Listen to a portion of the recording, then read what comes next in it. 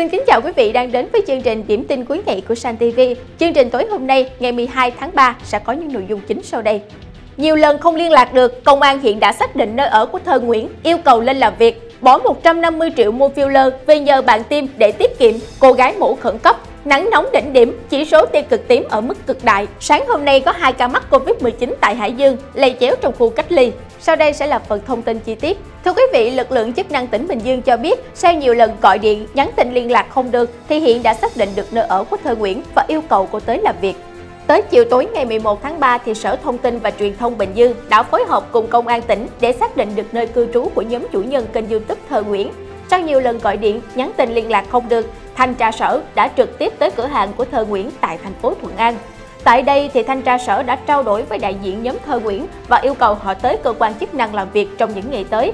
Đại diện nhóm giải thích cô chưa trả lời email, cuộc gọi, tin nhắn và thông tin điện tử ngày 10 và sáng 11 tháng 3. Bởi thời gian này cô đang rất mệt mỏi vì vụ clip xin vé học giỏi từ búp bê. Hơn nữa có quá nhiều cuộc gọi, tin nhắn tới Thơ Nguyễn mấy ngày qua khiến cô không biết cục đã gọi nên không kịp thời trả lời. Phía thơ Nguyễn cũng có giải trình qua điện thoại rằng cô bị hiểu nhầm, chứ clip cô không hoàn toàn là tuyên truyền mê tín dị đoan. Trước đó, kênh Thơ Nguyễn đăng video xin phía học giỏi từ búp bê ma, khu ma thông trên TikTok và YouTube đã vấp phải làn sóng phản đối mạnh mẽ từ các bậc phụ huynh. Thấy việc tiêm filler phải diễn ra nhiều lần và tốn kém, cho nên cô gái trẻ ở Đà Nẵng đã quyết định tự mua filler với giá 150 triệu đồng rồi nhờ bạn tiêm vào mông dẫn tới hoại tử mông, filler ăn mòn cơ thể. Chị Ca, 26 tuổi ở Đà Nẵng, từng tiêm filler ở nhiều địa điểm khác nhau và tiêm nhiều lần. Gần đây vì thấy quá tốn kém, chị quyết định tự mua một lượng filler lớn về nhà xài, có giá 150 triệu đồng, được quảng cáo là nhập khẩu từ Mỹ. Sau đó chị nhờ bạn thân tiêm filler vào mông. Hai tháng sau, vùng mông phải bị sưng tấy, căng cứng, tụ khối thành áp xe lớn và đau nhức âm ỉ không ngừng. Chị đã tự phá hủy khối áp xe và nặng filler ra, nhưng thứ trào ra chỉ là dịch mũ hôi thối, Quá sợ hãi, chị quyết định vào thành phố Hồ Chí Minh điều trị. Trên đường đi, vì quá đau nhất, chị ghé vào một cơ sở ở Bình Dương để được sơ cứu. Sau khi thăm khám, các bác sĩ ở đây nạo filler bên mông phải chị trong suốt 6 ngày để lấy filler ra ngoài. Cuối cùng, chị phải tiếp tục đến bệnh viện ở thành phố Hồ Chí Minh cấp cứu.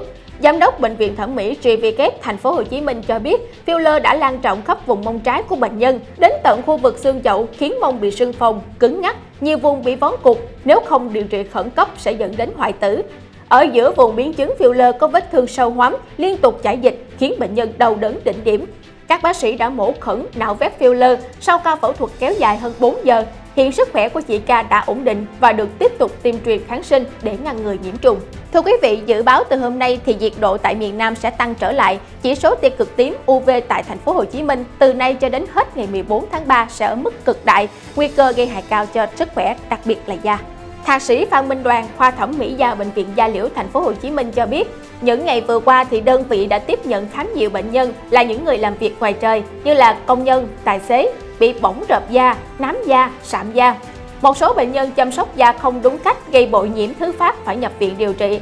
Trước tình trạng thời tiết tại thành phố Hồ Chí Minh tiếp tục nắng với cường độ tia cực tím cực đại trong những ngày tới thì bác sĩ khuyến cáo người dân hạn chế tối đa ra ngoài đường từ 11 giờ đến 16 giờ đây là khung giờ có cường độ tia UVA, UVB cao nhất trong ngày.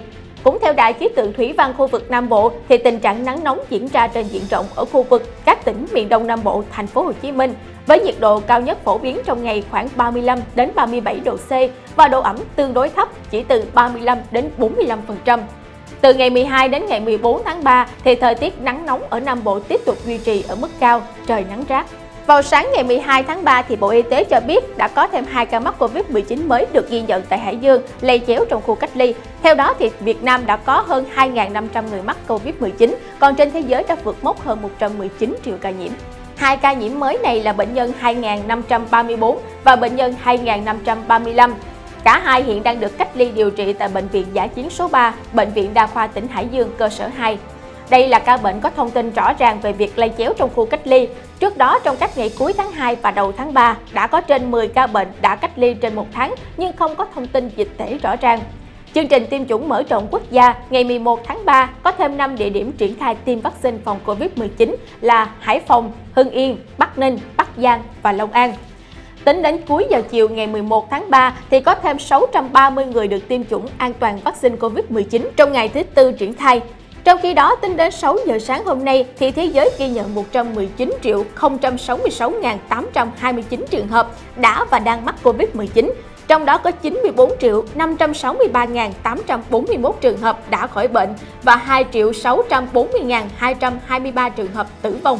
Thưa quý vị, thông tin vừa rồi cũng đã khép lại chương trình điểm tin cuối ngày hôm nay. Cảm ơn quý vị đã luôn quan tâm theo dõi. Hãy nhớ nhấn nút like và subscribe kênh San TV để cập nhật những tin tức mới nhất. Kính chào tạm biệt và hẹn gặp lại.